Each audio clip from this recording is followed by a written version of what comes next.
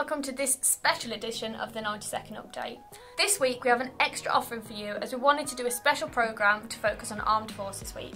Armed Forces Week runs from 21st of June through to the 27th of June, with Armed Forces Day falling on Saturday the 26th.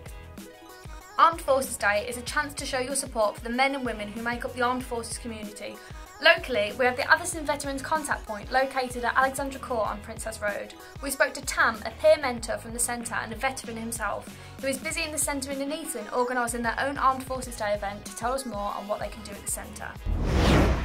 Hi, my name is Tam. I'm a veteran. I served in the Coldstream Guards for six years, serving in the 1991 Gulf War. Throughout time, I've had help and support from the Veterans Contact Point based in Nuneaton. I wanted to give back, so I started to run a Veterans Hub in Atherstone on behalf of the VCP. I am now a senior peer support worker helping other veterans move forward with their lives. We have, we have operated safely through COVID-19, working throughout all lockdowns.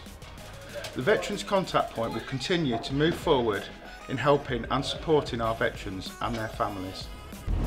We also had the opportunity to speak to Craig Tracey MP to find out a little more about Armed Forces Day. It's great to hear from Tam at the Veterans Contact Point.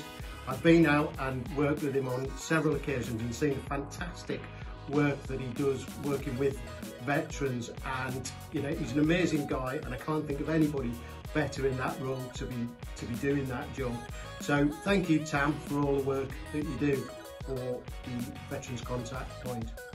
This week is Armed Forces Week and it's an opportunity to recognise the work that our servicemen and women, our veterans and families of, of serving personnel and veterans and also our cadets do in our communities.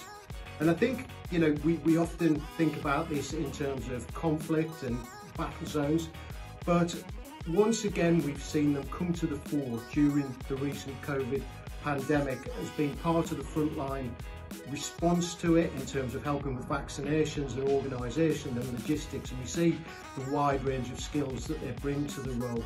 So I know the constituency has a really proud tradition of thanking our servicemen and women and our veterans but this is just an extra opportunity to say that thanks once again. So if you do know anybody who has served, is serving, their families and also our cadets, just make sure that you take the time to thank them during this week for their service because it's just such an amazing part of our British culture. And so on behalf of me, I would like to thank them all and wish you all a very happy Armed Forces Week.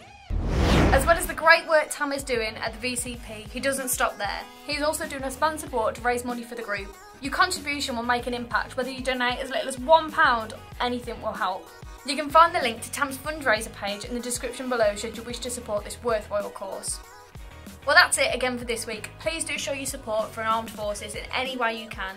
If you have any good news stories that you'd like us to feature in the 90 second update, please get in touch on the details listed above.